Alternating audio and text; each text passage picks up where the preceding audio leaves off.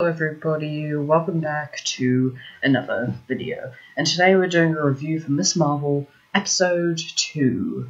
Um, so this episode began with Miss Marvel just like training, learning her powers, which reminded me of the 2018, I'm pretty sure, or 20, 2019 Shazam movie. Um, that's what it reminded me about.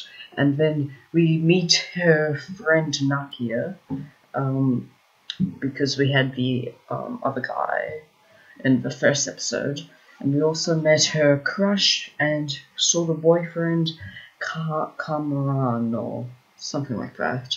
Um, so this episode was very much just like the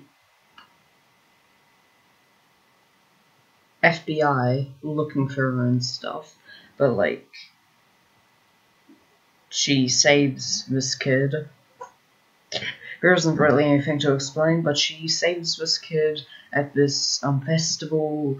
Um, the kid is about to fall off a building, but he likes ice cream and pizza, so in my opinion he deserves it, because who puts pizza on ice cream? That sounds disgusting.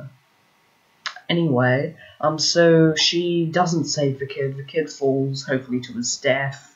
Um, I'm kidding, YouTube, that was a joke. Don't do anything to me, please. Um, hopefully he's alright. But then she runs away and then escapes the FBI. And then Kamran comes in and goes like, Kamala, I would like you to meet my mum, who is pro- most likely Kamala's great grandma, who used to be Miss Marvel. So is Kamala dating her great uncle? That's the question that we'll find out next time. I rated this episode a 6.5 out of 10 again. Miss Marvel, like, I prefer Obi-Wan at the moment, but Obi-Wan, at first, the reviews didn't get much, the reviews didn't get much views for Star Wars shows, so I'm just gonna stop the Obi-Wan reviews and do an altogether end of the season review.